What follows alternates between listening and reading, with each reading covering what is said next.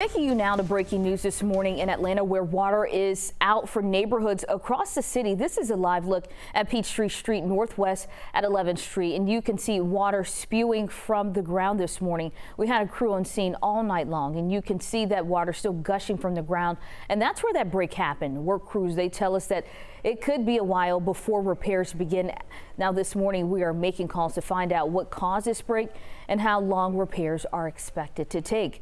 Looking at photos from right when it happened, we also know at least two other breaks happened Friday evening, one on Atlantic Drive Northwest near Atlantic Station and another water main break on Joseph E. Boone where we're told they are not connected.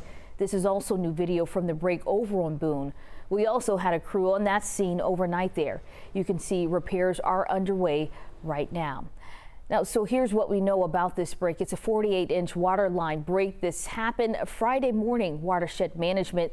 They tell us that repairs didn't begin right away because they had to spend hours studying maps of the water lines and get enough crews together to fix that break. This area is actually where three major lines intersect and they also service different parts of town.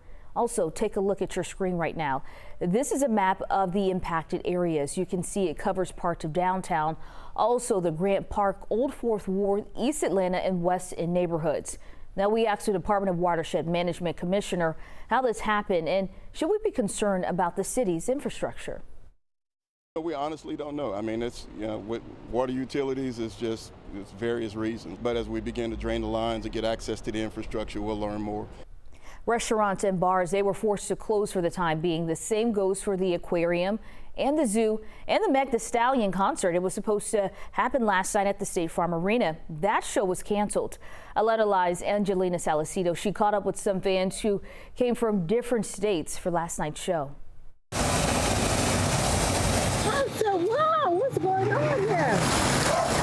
Gushing down the street. I'm trying to go this way, but I, from here you can see the water running down there. Water takes over the neighborhood in Vine City. While it's fun for the kids, some in the metro are left posting to social media without water. You can't wash your dishes, you can't wash your clothes, you can't brush your teeth, you can't take a shower, you can't cook, you can't do nothing because there's no water miles away from the break here. I'm sad. Me too, girl.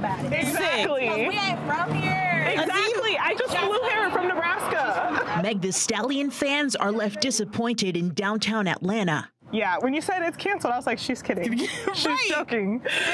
you weren't joking. Like, There's so no like, way. Oh, man. State Farm Arena making the announcement on social media saying water main breaks across the city moved it to Sunday. I know it's not her fault and she wouldn't have done it on purpose. So like, I'm not mad at that. I'm just mad at the circumstances, like the situation of it's it. It's really just inconvenient. Yeah. That it's like the gist of it is just a real big inconvenience because you do have people who are coming out of state, out of, you know, town. And good news for fans. Meg's show for tonight is still on State Farm Arena. They're being transparent, letting fans know that they're in contact with the city of Atlanta and will let everything know, everyone know rather, if things change. As a result of the water main breaks, Grady Health Systems, they canceled appointments Friday afternoon. We are working to confirm if it will impact anything scheduled for today. This morning, many of you are under a boil water advisory. A few reminders for you. It is not safe to drink tap water, even though it's gone through your fridge or your pitcher filter. You can bathe during a boil water advisory as long as you are healthy and you do not have any cuts on your body. And if you're going to wash your dishes, boil the water first and make sure your dishwasher gets up to at least 170 degrees.